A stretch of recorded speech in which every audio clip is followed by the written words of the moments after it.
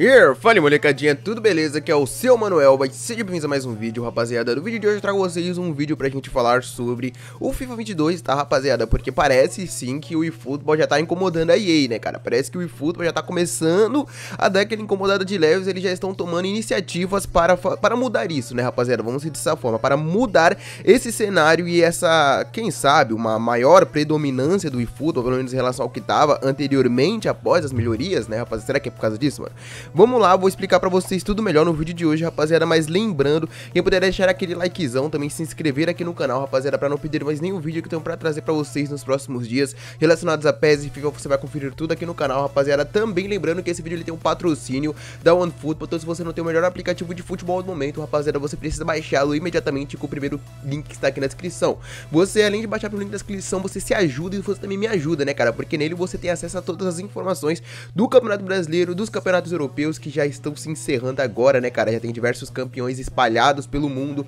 Você também tem acesso a todos os lances do Campeonato Brasileiro. Como assim, mano? Assim, além de você poder acompanhar tudo em tempo real, lance a lance, nas informações do jogo, você também tem acesso a ver todos os melhores momentos de todas as partidas do Campeonato Brasileiro. Ou seja, você entrando no aplicativo, você já tem acesso a todos os melhores momentos, rapaziada, de todas as partidas do Campeonato Brasileiro. Então, se você não tem o Futebol, baixa aquele link na descrição e aproveita que é de graça, né, cara? Quer mais praticidade que isso, né, mano? Não existe, né, rapaziada? E como assim, mano? Como assim é o, no caso, o FIFA está começando a ser incomodado com o eFootball, né, galera? Porque a gente percebeu que antes do, do eFootball receber tal melhoria, a, a Konami, a EA Sport estava bem acomodada, né, rapaziada?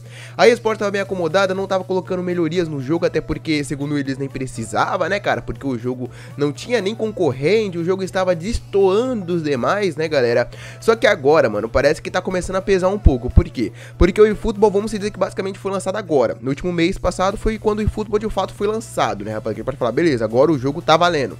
Agora o jogo saiu, agora sim temos o eFootball genuinamente eFootball, né, galera? E antes disso, a EA Sports não parece se incomodar muito, né, cara? Porque não tinha outro jogo de futebol no mercado e a maioria dos jogadores de PES estavam exatamente migrando para o FIFA pela falta de conteúdos no próprio eFootball, pela gameplay também estar bem deficiente, né, rapaziada? Então a EA Sports tava, tava na maior paz, tá ligado? Além do eFootball e do PES tá uma merda, não tinha um outro jogo que pudesse incomodar eles. Agora parece que agora que o eFootball melhorou, tá começando a incomodar eles e a eSport tá começando a tomar é, algumas iniciativas e dentre elas fazer uma, alguma iniciativa que realmente faça é, atrair mais jogadores. E como é que eles poderiam fazer isso? Eles já colocaram um jogo a 70 reais em diversas plataformas e vamos dizer que não deu tão certo, né, rapaziada?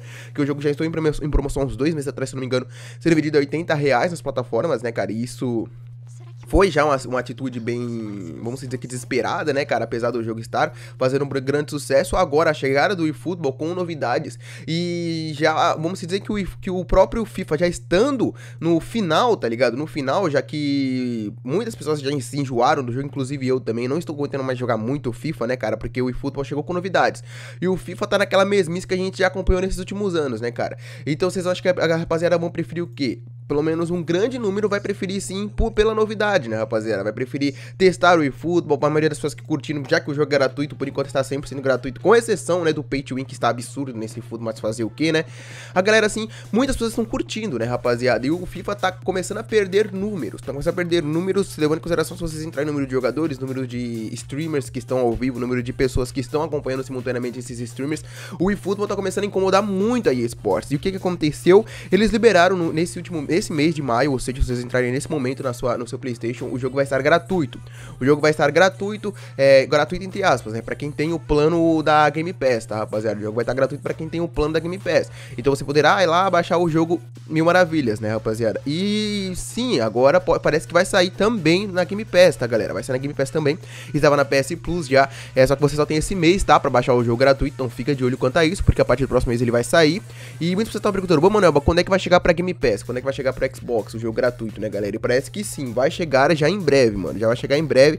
Já tá tendo muitas informações, claro que ele poderia chegar em maio, não chegou em maio, mas deve sim chegar em junho, tá, rapaziada? Deve sim chegar em junho, eu vou mostrar pra vocês aqui a tela do meu PC, pra vocês é, ficarem ligados nisso que eu tô falando pra vocês. É claro que tem diversos sites, mas eu vou mostrar pra vocês o mais recente, tá, galera? O mais recente que sim, parece ter bastante fundamento, tá, galera? Vou colocar aqui na tela do PC, vocês já estão aqui na tela do PC, tá, rapaziada? E, mano, basicamente, galera, aqui estamos no site, aqui fala um pouquinho sobre o FIFA 22 e o Battlefield que sim podem estar chegando na EA Play a partir do próximo, não, não fala data, tá ligado? Não fala data, mas é, creio eu que deve ser no próximo mês, que é quando ele costuma chegar. Na EA Play ele sempre costuma chegar, na EA Play e na Game Pass. Depois de 6, 7 meses do lançamento ele costuma chegar na Game Pass, tá rapaziada? Isso é comum de acontecer já há uns 3, 4 anos. Só que na PS Plus isso era raro de acontecer e acabou acontecendo nesse mês, tá ligado? E sim, tá falando sim, rapaziada, que após ser anunciado como um dos jogos da PlayStation Plus de maio, o 22 pode estar perto de tornar-se também um jogo gratuito do EA Play que é o serviço de assinatura da própria EA Sports, né, rapaziada, da Electronic Arts. O rumor surgiu após mudanças percebidas na Microsoft Store, que passou a mostrar o título de futebol como um dos jogos do catálogo da Game Pass, né, rapaziada. Vai lembrar que a EA Play está integrada ao serviço de assinatura também da Microsoft, então os dois são basicamente um só, ou seja, os jogos que a EA Play normalmente oferece, normalmente também são liberados na Game Pass, ou seja, se você assinar é, a EA Play, não, se você assinar a Game Pass, no caso, você também tem acesso aos jogos da EA Play, né, rapaziada, vocês assinariam o Xbox Game Pass Ultimate, que é no caso, o plano também que eu tenho no meu Xbox, né, rapaziada? Além do FIFA 22, outro, outro título da EA que poderá chegar no catálogo do serviço é o Battlefield 2042. O lançamento mais recente da famosa franquia de guerra, que não fez tanto sucesso assim, né, rapaziada? Deu uma flopada, né, cara? E parece estar tentando manter o FIFA 22 vivo. Se vocês quiserem ver a matéria completa, tá? Eu vou disponibilizar aqui no primeiro link da descrição, fechou, rapaziada? Eu vou disponibilizar aqui. Só que sim, mano, isso já era meio óbvio de acontecer, porque acontece todo ano, só que parece que esse ano eles estão adiantando um pouco mais. Eles estão fazendo esse lançamento ocorrer antes do que o comum, né, rapaziada? Então eles estão fazendo o lançamento ocorrer antes do que costuma é, sair para todo mundo, né, galera? E sim, mano, isso eu achei bem legal, né, galera? Bem bacana. Vamos estar recebendo aí o o FIFA, né, rapaziada, mais cedo do que a gente costumava, né, cara? Eu acho que exatamente é porque a EA Sports tá começando a se sentir incomodada com o, o FIFA, tá, rapaziada? Acho que a EA Sports tá começando a se sentir incomodada com o FIFA e o que o FIFA não tá mais alcançando, não tá mais chegando na mão das pessoas e o tanto que o eFootball está começando a atingir mais números, né, cara? Porque o eFootball foi muito bem no lançamento do, da versão .0, a galera curtiu pra caramba. E é claro que muitos youtubers estão começando a gravar conteúdo de futebol, inclusive os de FIFA, tá ligado? Então isso sim pode por convencer os usuários de testarem o jogo, já que não custa nada, o jogo é gratuito, né, mano? É só vocês irem lá em qualquer plataforma e instalar, né, cara? Então isso ajuda muito a Konami a conseguir mais números e tá começando a acomodar EA Sports. Eu acho que isso também está ajudando muito com que ele saísse na, Game, é, na PS Plus, na Game Pass, que a, a EA Sports tá querendo um pouco dar uma flopada no eFootball, né, mano? Mas eu não sei se tá dando certo. Vocês acham que tá dando certo, cara? E por que, mano? É que você continua com essa opinião, tá, rapaziada? Tem mais uma informação também, que vai chegar um crossplay no próprio FIFA 22, né, cara? Coisa que temos no PES, né, velho? No eFootball. É claro que ainda não tá da maneira que a Konami prometeu, mas sim a Konami já prometeu já que teria o crossplay com mobiles, com PlayStation 4, PlayStation 5, Xbox, Series S, One, PC, todo mundo, tá ligado? E parece que sim que a princípio no FIFA 22 já vai chegar um crossplay, tá, rapaziada? Vai chegar um crossplay e serão jogáveis os consoles de nova geração. Aparentemente é o Stadia, se eu não me engano, o Xbox Series e também o PS4, tá, rapaziada? Serão jogados. PS4 não, PS5, tá, rapaziada?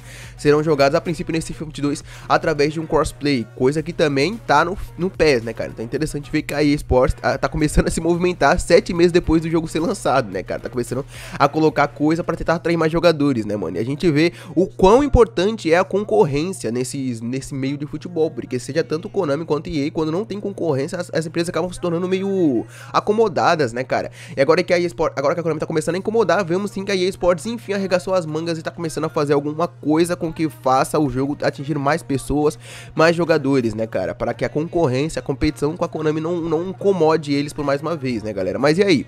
O que, que, vocês acharam do vídeo, rapaziada? Vocês acham que o FIFA tá fazendo certo aí, tá fazendo certo em liberar o jogo? Muita gente que comprou o jogo fica brava, fica puta, mas fazer o que, né, cara? Acontece Mano, é, é, o mercado, né, rapaziada?